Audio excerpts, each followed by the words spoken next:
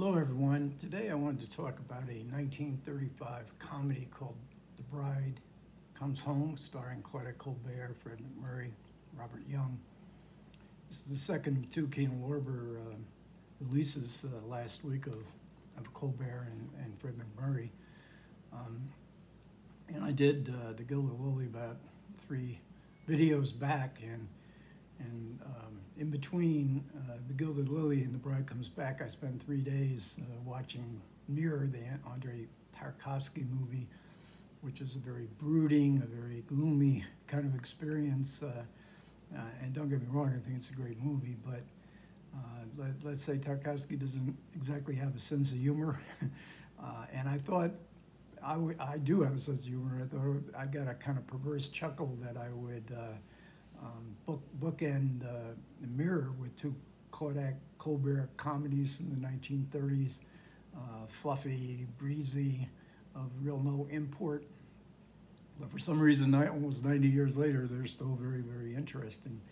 And um, and I, I, came across that quote from Tarkovsky. I don't mean to dump on him because I just made a video where, where I praised him, but uh, as regards to entertainment, the kind of entertainment that Colbert uh, represents in these two movies. And uh, Tarkovsky is, excuse me, talking about Mirror, and the quote goes, there are no entertaining moments in the film.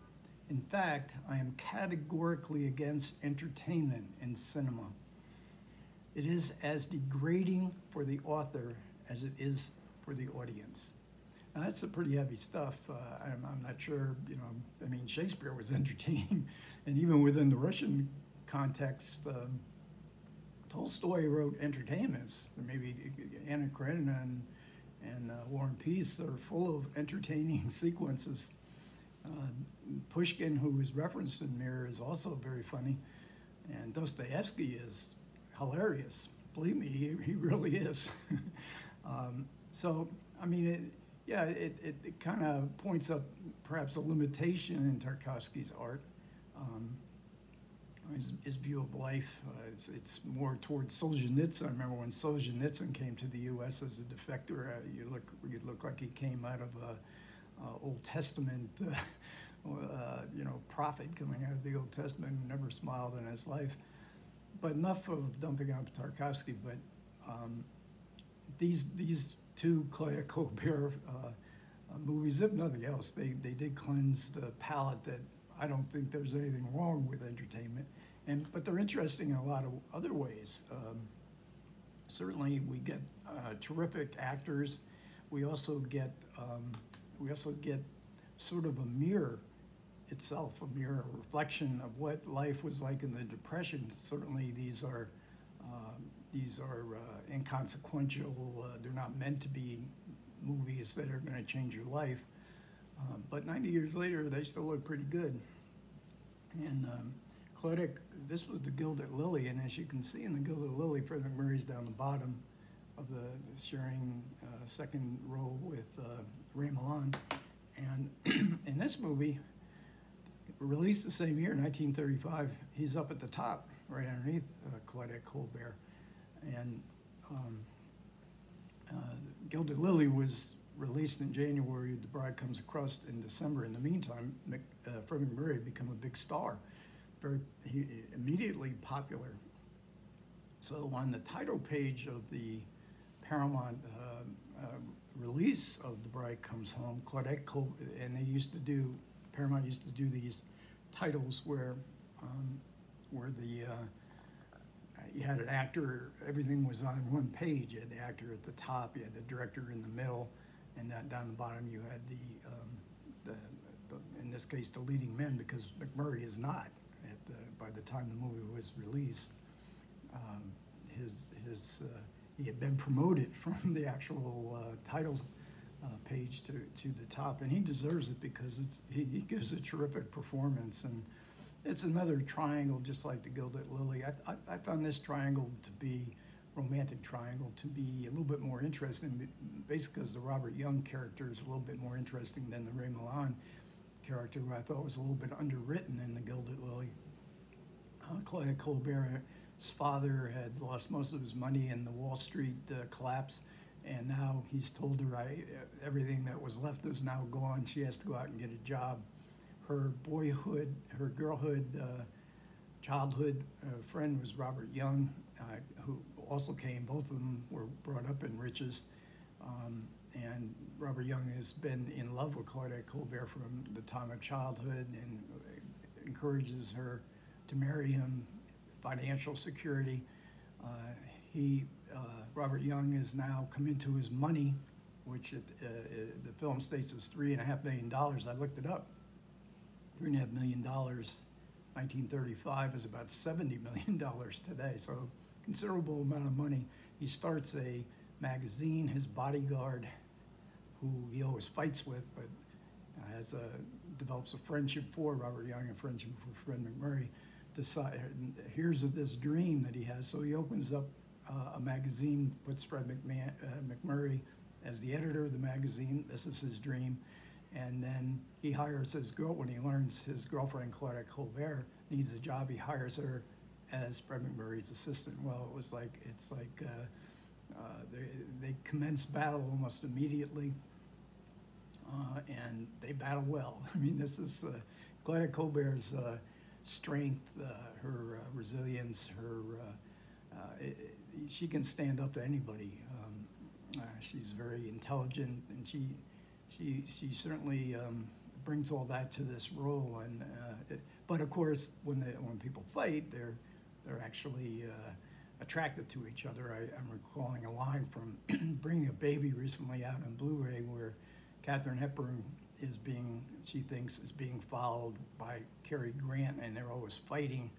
She comes across a psychiatrist. She asks him a question, why, you know, what, what, what's, why is this guy following around? All he wants to do is fight with me. And the psychiatrist, the famous line the psychiatrist has, the love impulse in man frequently reveals itself in terms of conflict. And uh, certainly we got a lot of conflict in this. And then there is the dilemma, who do I marry? You know, do I marry money? Do I marry love, passion? You're, you always, in the back of your mind, you're always thinking, you know, five years from now, the money might look pretty good, but the passion might fade.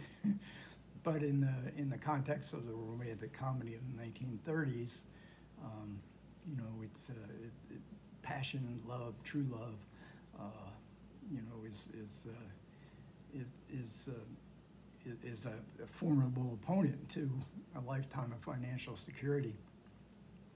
And so uh, Colbert was was a very busy actress. I, I, I have to just recite a few of the movies in the 1935. Now, as I said, Gilded Lily came out in January. Bride Comes Home came out in uh, in December. In between that, she, mar- she, she made Private Worlds and she married her boss. One that one is the drama, Private Worlds, and, and Colbert was, uh, you know, very as adept at drama she was in uh, in comedy, and um, both uh, directed by Gregory La Cava. I've not seen either of them.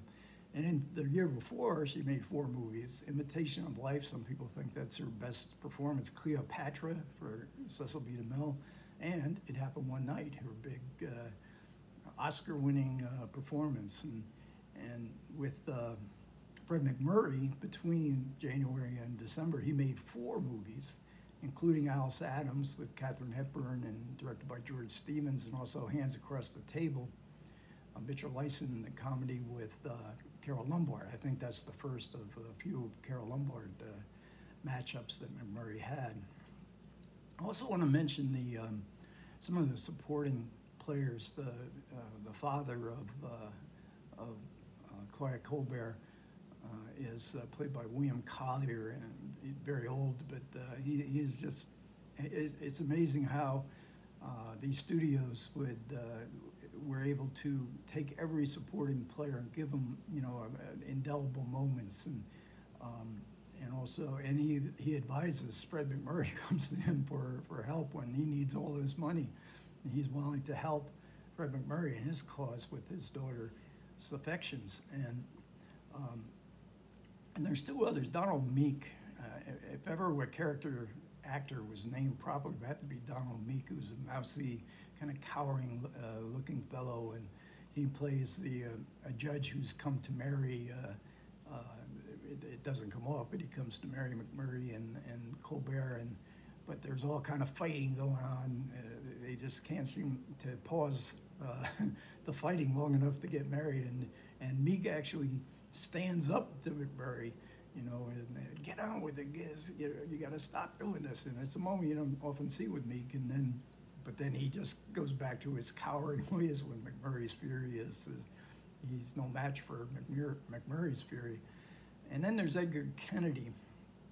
Kennedy, Edgar Kennedy was also always known as the slow burn. He was in he was in Mack Sennett movies, Chaplin movies, um, Marx Brothers movies, uh, Laurel and Hardy.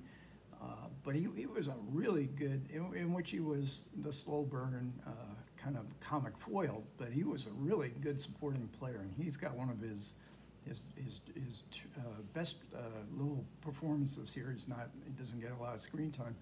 Um, there's another movie that he made. I think it might have been his last movie because I think he died in the late 40s. So it's Unfaithfully Yours with Preston Sturges, where he plays a private detective, and um, he's uh, he's um, he has been hired to uh, trail uh, Rex Harrison's uh, wife, and he finds, uh, unbeknownst to Rex Harrison, and he finds evidence that sort of points to his wife being you know, unfaithful. And Rex Harrison says, "Who hired you?" And he runs to to the office where Edgar Kennedy is, and Rex Harrison is this famous composer, and he and Harrison is taken back because uh, Edgar Kennedy idolizes him, and uh, you know, as a compo- as a conductor, he's not a composer, he's a conductor, and and uh, he he mentions concerts that he's seen with him, and he a, Han- a Handel concert, and he has this famous line where uh, Kennedy tells him, "No one handles Handel like you handle Handel." And I'm, I'm only making all these connections because I think it's, it's part of the charm, part of the, the element of old Hollywood films uh, where you see all these supporting roles, uh, actors, and, and this is, Hollywood cinema was an actor's cinema. There were great directors, great writers, but the focus was always on the actors. And, and it didn't, it wasn't just the stars, but, uh, you know, uh, the secondary uh, players, uh, always, they, they would have, you know, write a part for, write a small part for Edgar Kennedy, write a small part for Donald Meek. Uh, One, one- presumes that was so. So anyways, this is Bride Comes Home, as I said, uh, after uh, Mirror, it was, uh, it it would have been a lot of fun anyways. Uh, uh, It it was a good time. All right, thanks a lot for everybody who stuck with me. I appreciate it. As always, comments are welcome. You guys take care. Catch you next time.